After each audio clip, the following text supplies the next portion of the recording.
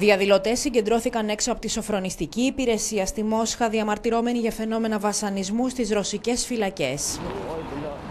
Ο φυλακισμένος ακτιβιστής Ιλντάρ Νταντίν καταγγέλει ότι υπέστη συστηματικό βασανισμό από σοφρονιστικούς υπαλλήλους. Μέσω επιστολής στη σύζυγό του ισχυρίζεται ότι ξυλοκοπήθηκε και πως 10 δεσμοφύλακες τον κλωτσούσαν ταυτόχρονα. Βγήκε στο δρόμο με ένα πανό και τιμωρήθηκε με φυλάκιση 2,5 ετών. 2,5 χρόνια φυλακή για ένα πανό. Και τώρα ο άνθρωπος αυτός όχι μόνο είναι στη φυλακή, αλλά τον βασανίζουν. Πώς να το δεχθούμε αυτό, πώς να το δεχθεί οποιοδήποτε ελεύθερος πολιτισμένος άνθρωπος. Δεν το καταλαβαίνω. Γι' αυτό είμαι εδώ. Ο 34χρονος Νταντίν ήταν το πρώτο άτομο που συνελήφθη βάσει του νέου αυστηρότατου θεσμικού πλαισίου κατά των διαδηλώσεων. Αξιωματούχος της φυλακής παραδέχθηκε ότι ασκήθηκε βία εναντίον του όταν αρνήθηκε να βγει από το κελί του.